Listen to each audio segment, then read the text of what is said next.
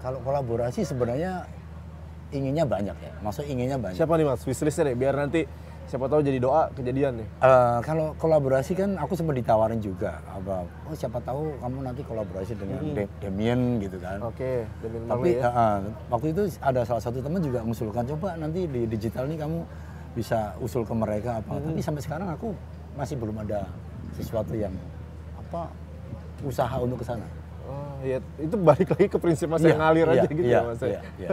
nah, kalau yang dari Indonesia nih ada pengen kayak siapa gitu kayak ini kayak musisi Mas Tony mungkin ya kagum menghormati juga terus pengen nggak tahu nggak ngal- ngalir aja tuh ngalir aja. iya.